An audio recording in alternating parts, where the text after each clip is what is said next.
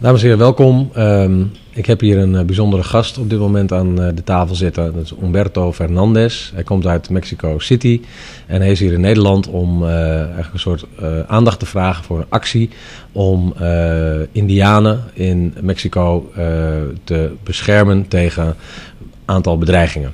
Ik zal hem even kort interviewen. Mr. Humberto Fernandez, welcome. Mm -hmm. in Amsterdam, I would say, mm -hmm. but you've been here already a few days, I think. Uh, well, I arrived yesterday, but yeah, oh, I've been before. Okay. Do you have a jet lag at this moment? No. No? Fortunately. Oh, very good.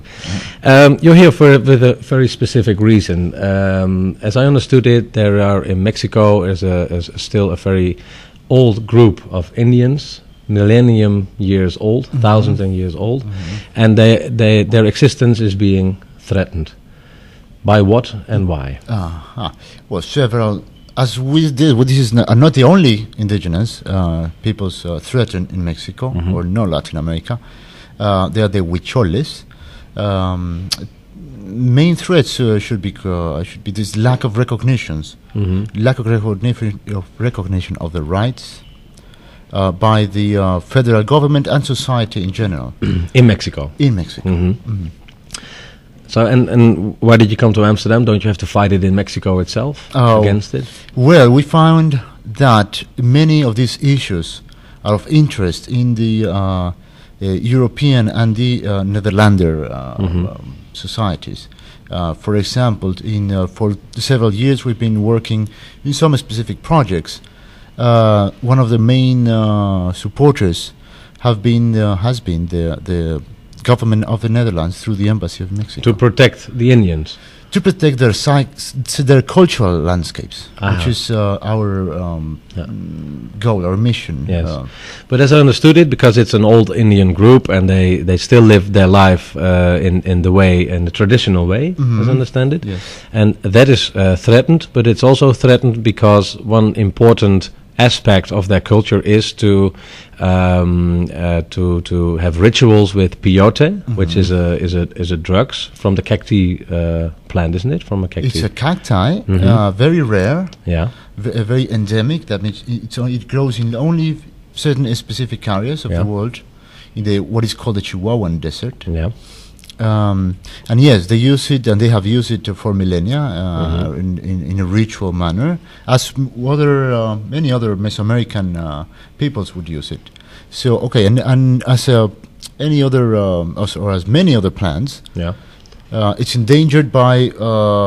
Mm, urbanization, the growing of the urban yeah. populations, the overgrazing of mm-hmm. cattle, and other several factors. But one specific uh, factor is the plundering by visitors from all over the world. Uh-huh. All those hippies, you mean? Uh, all those hippies come to Mexico New to, Agers, to get uh, peyote. Whatever, no, uh, mm-hmm. Yes, and this place is particularly uh, famous.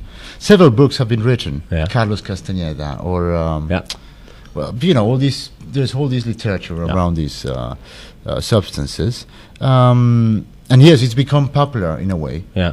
So you have visitors all over, and they come, I guess, with a very good spirit uh, yeah. to you know have these experiences. But they are, but are unaware of the problem yeah. they are they are causing. But is then the case that there are too um, too many uh, tourists coming, and that it's also a, a valuable drug, so it, that they can make money with it. Uh, that it's taken away to uh, that it's almost a kind of robbery, that it's stealing of the peyote. So the tra traditional Indians can't use it anymore? Yes, you can. Yeah, you can say. Yeah, mm -hmm. I had mm-hmm. not uh, seen it as robbery, but yes, actually it is. Yeah, yeah, because it just come gathering, and some of it is sold here in, in, in Europe and in Amsterdam. And also in Amsterdam, eh, in smart shops. Yeah, yeah. Um, so the point is, um, you want to what what what what can what measures can be taken because it's of course very difficult. It's an open area. Mm -hmm. you, you, mm-hmm. have a picture here. It's a, it's a huge uh, uh, nature uh, reservation. Mm -hmm. it's very difficult to put um, things around it that uh, if if you're a new age hippie tourist, you're not allowed to get in. Or yes. what kind of measurements can you take against it? Well, Wirikuta, which is this say cultural landscape, uh, yeah. I would like to say, which is in the southern southeast Chihuahuan Desert mm-hmm. in San Luis Potosi in Mexico. Uh, it has been declared as a state natural and cultural reserve, uh, which is okay legally. That's the uh, the ground, w- the groundwork we have to, to work here, and uh, the area is inhabited by non-rituals. It's, it's a bit complicated. Uh, very poor people, but what we're doing is working with them to try to find ways for uh, alternatives for agriculture, for the way their economic ways. Yeah. And in the case of tourism, they are also very uh, upset with uh, this trend, which they only comes, you know, the people only comes, they gather the plant and leave nothing Yeah, practically. but how, how can you how can you stop that? How can you stop Uh, well, locally, we, d- I, we don't foresee. We could use or try to promote more, uh, uh, say, stronger, um, uh, stronger uh, repression? repression. But Yeah. that's not the way. No, that's don't the way. It's, it's against our policy. it makes the drug more expensive and more valuable. So Yeah, and and yeah. but uh, perhaps first is is education, Mm-hmm. um, awareness of, of that it is a very rare cacti, and it takes Yeah. very many years to, to grow, grow. Mhm. and it it only grows in very certain in certain areas, and uh, and that it it's this uh, cultural um, element that it also re- reserves uh, uh, respect by, by the So, ac- so actually, what actually what you are saying is uh, to the Dutch uh, or to the Amsterdam audience is don't buy peyote when you uh, come across it here in Amsterdam in the smart shop because then it's absolutely illegal. Uh, and secondly, it's also a threat of the traditional Indians in the area. Correct. And secondly, you say when you go to Mexico, go visit the area, but don't take away the peyote. Yeah, the peyote, and don't leave the rubbish on the. Uh, other Ah, of course, no. That, but Uh, that's uh, uh, that's what because they do it. they do, huh? Uh, Yeah. yeah, yeah. They go and camp there and they live. Uh, Yeah, but you you came all the way to Europe. That's my, my last question because you um, you work together with uh, UNESCO and with the World Wild uh, Fund fun for nature. for nature Yes. because it has a second the second goal of your visit here is also to get attention to the natural uh, cultural uh, value of this area. Mm, that's correct. Yeah. It's UNESCO, World Wildlife Fund, uh, Worldwide Fund for Nature, and other smaller NGOs in Germany and here in the Netherlands Mhm. that are interested in uh, supporting this uh, this effort, this initiative. Okay, who who is the next person you're going to meet? Uh, well, actually, this is almost the end of my my visit to Europe. Really?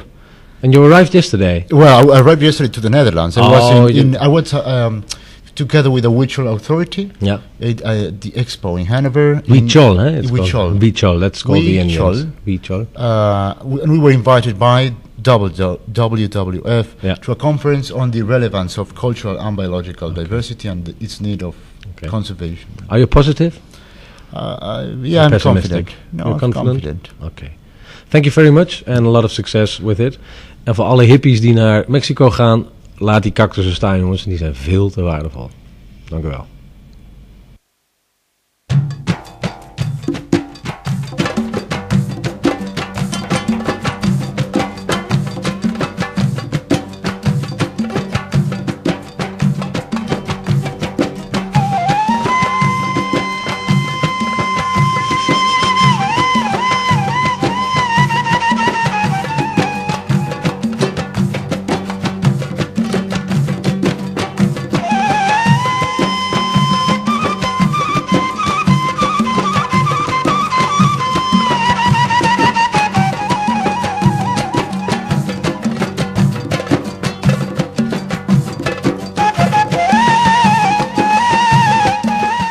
Wirikuta, part of the Great Chihuahuan Deserts, one of the three most biologically diverse deserts in the world, and one of the 25 focal regions in which the World Wildlife Fund for Nature concentrates its efforts from a selection of more than 200 notable ecoregions for their contribution to biodiversity of the planet.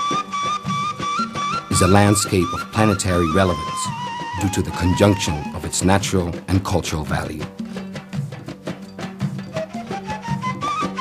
Wirikuta forms a vital part of the Chihuahuan Desert.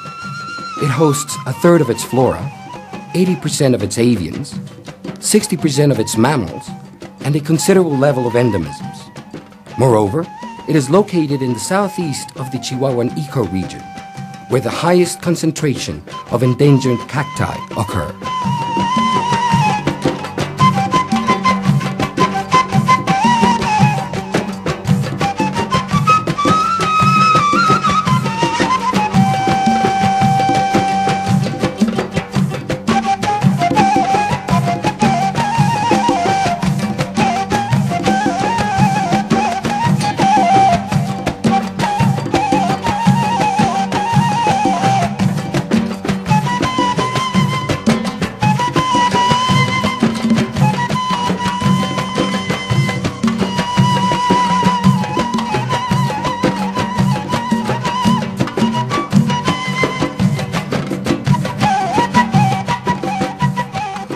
The Huicholes, indigenous people, that live up in the western Sierra Madre where the states of Jalisco, Nayarit, Zacatecas, and Durango meet, make a pilgrimage each year to Wirikuta. During this journey of over 500 kilometers, they visit sacred sites where the shaman recreate and transmit to the younger generations the tribal legacy.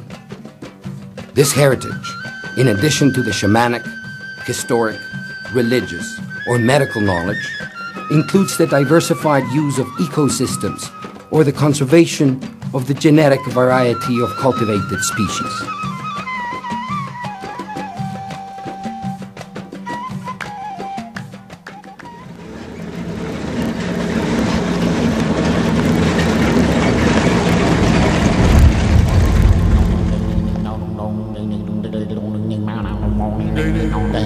There are several factors threatening this fragile environment.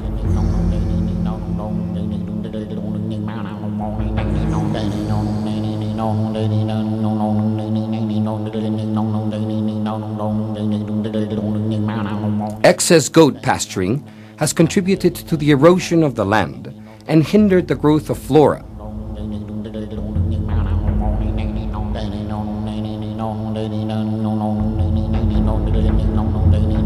The illegal traffic of endangered species is part of a worldwide web, and many nesting sites of eagles and other species have been disappearing. There are 250 fauna species, of which 50 are under protection by international law.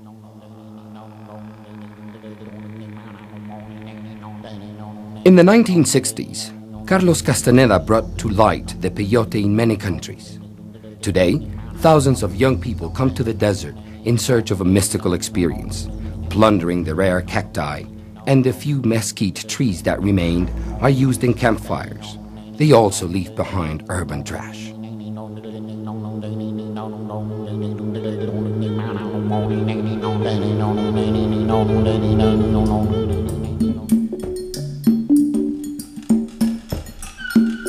Over the past six years, Conservación Humana has joined efforts with World Wildlife Fund and the UNESCO to help the ecological reserve to be functional. With the assistance of experienced scientists in desert ecosystems, we are working to establish a dynamic structure for the administration, operation, and management policies of the reserve to formulate the diagnosis of the ecological and socio-economic situation as well as of the threats and factors of deterioration to which the area is exposed. We are on the verge of formulating an organized, collaborative, and adaptive plan whose strategy is centered in overcoming the threats and critical factors of deterioration. We have also fostered a better relationship between the Huichol Indians and the local non Indian inhabitants, so we both can work in maintaining the sacred place as well as the land.